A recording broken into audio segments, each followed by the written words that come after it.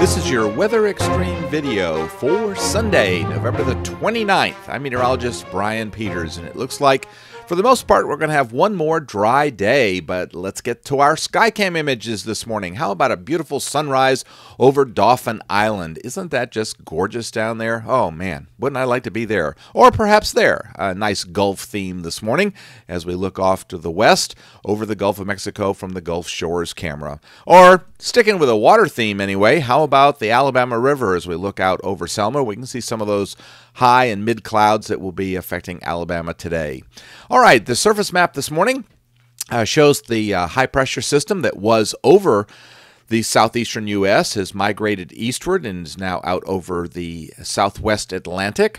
And we're developing a storm system off to our west, and we should see that front move through here uh, on Monday, bringing us some rain overnight tonight and into uh, the early hours of Monday morning. In the upper atmosphere, we have a little short wave that's been moving through, but we got two features we're watching. One is the uh, uh, shortwave trough moving across the north central United States, and the other is the closed low out over uh, Baja California out there. And uh, those two features will be affecting us. The first one, the shortwave over the north central U.S., will be moving by quickly. That will drag the front through and bring us some rain overnight tonight and into Monday. And then the closed low coming out will bring us some rain uh, on Wednesday. Now, temperature wise across the country, it is rather chilly in the north central part of the United States in the northern Rockies, uh, very mild across Texas, and we're going to stay mild across the southeastern U.S. Uh, across central Alabama, the lows this morning generally dancing around the 40 degree mark a little bit warmer than we've seen as we have a fairly nice southerly flow. Not much uh, in the way of echoes on radar, but we see a few, and we're certainly due for some rain. Uh, we've had a number of days of no rain, and it looks like over the next five days that we're going to see as much as uh, five to six inches along the Gulf Coast. Across north central Alabama, it looks like the uh, range will be all the way from uh, oh, around one inch in the Tennessee River Valley uh, to around uh, as much as maybe three or four inches in the vicinity of Montgomery. So, uh, could be some flood issues or flash flood issues. No uh, organized severe weather predicted by the Storm Prediction Center. However, on day four, and I believe that that is uh, the 2nd of December, uh, possibility of severe weather across part of the southeastern U.S., including the Florida Peninsula.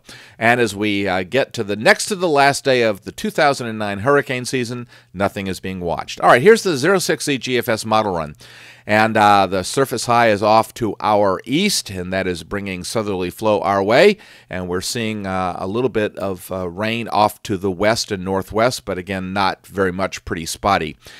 The uh, north central U.S. trough comes through very quickly tomorrow, and that should, should drag the front through our area and bring us rain primarily uh, after midnight tonight and through about noon tomorrow, primarily, but uh, I think we'll be cloudy for much of the day.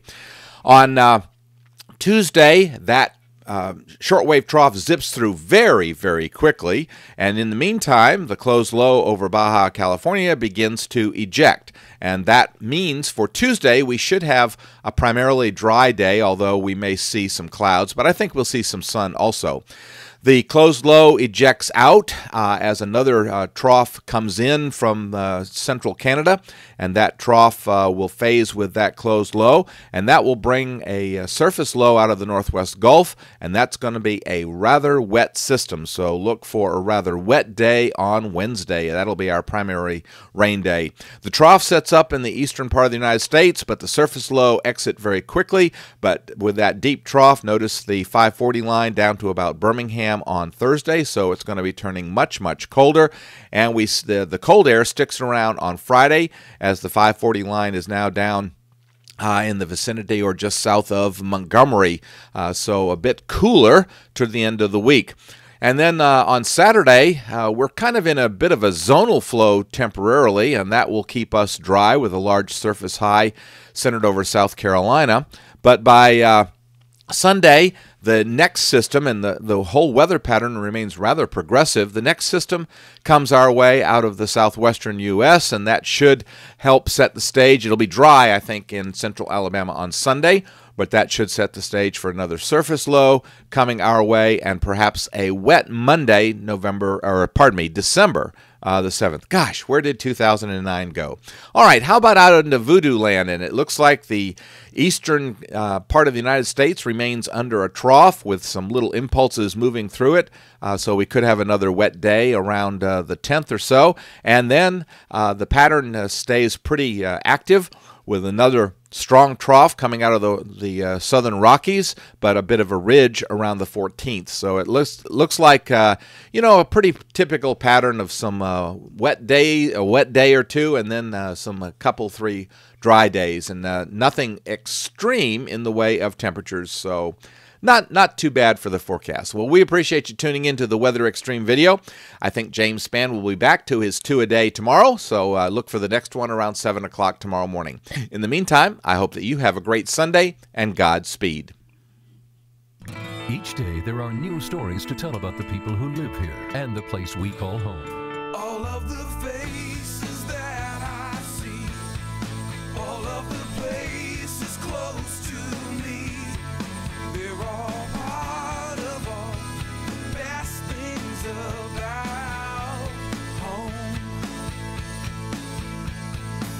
sharing your stories on ABC 3340, Alabama's news leader.